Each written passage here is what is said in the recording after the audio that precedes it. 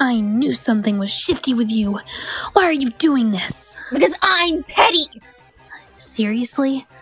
That's it? Yes, you stupid gas tooth human! Wow. Okay. Okay.